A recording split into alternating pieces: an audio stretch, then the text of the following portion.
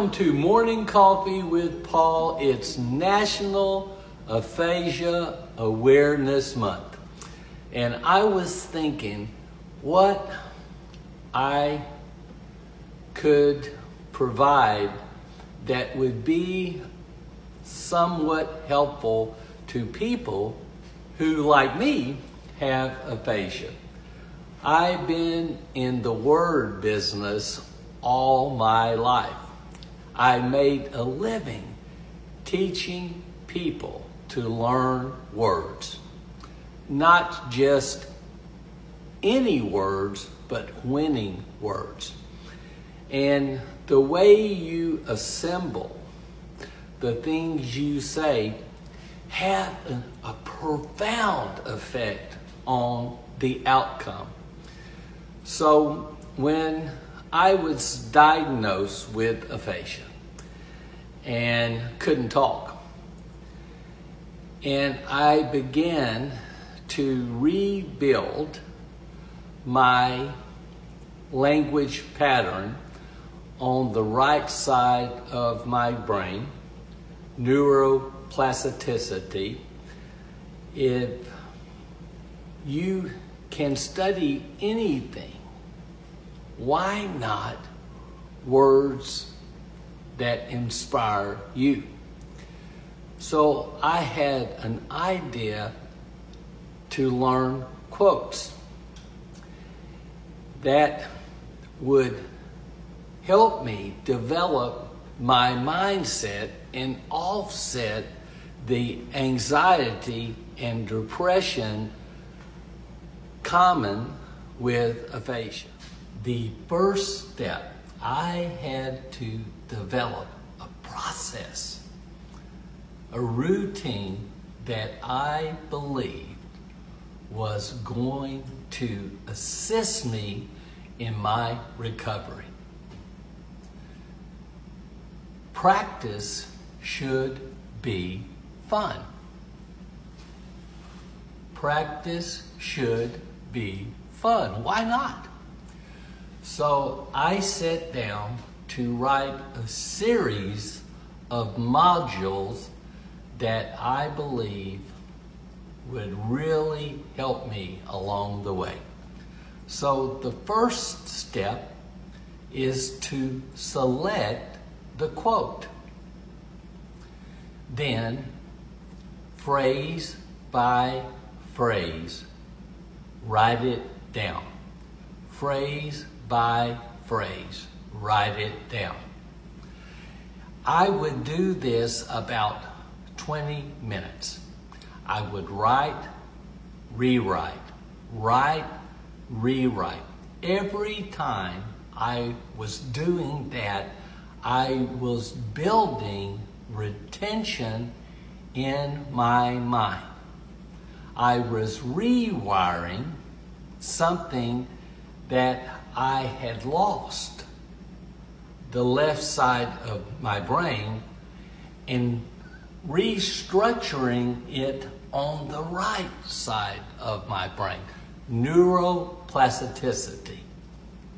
Then I would read it over and over to myself about 10 minutes.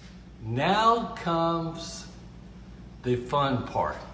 You must learn the quote. So I've written it, I've read it to myself, phrase by phrase, I'm going to learn the quote. You must, you must build, you must build a bridge. You must build a bridge mentally. You must build a bridge mentally from where? You must build a bridge mentally from where you are now. From where you are now.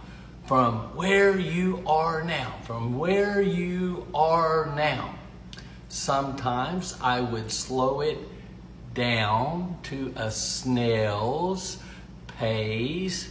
you must build a bridge mentally from where you are now to where you desire to go. You must build a bridge mentally from where you are now to where you desire to go.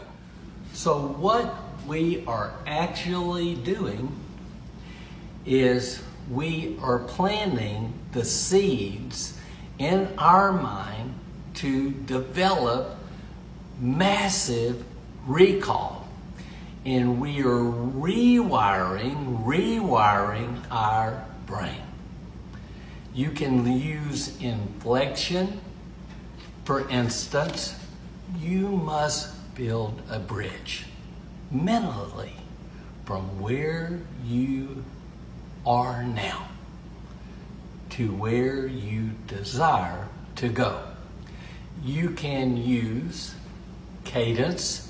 You must build a bridge mentally from where you are now to where you desire to go. You can use pause, points. You must build a bridge mentally from where you are now to where you desire to go. Each point of inflection, each point of cadence, each point of pausing builds memory. You're just rewiring your brain. So I've learned many quotes along my recovery. And I don't say every word perfectly. I struggle a lot.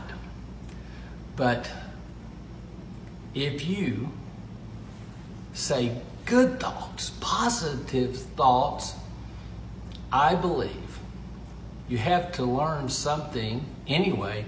Why not? Feed your mind the positivity it needs to deal with anxiety and depression and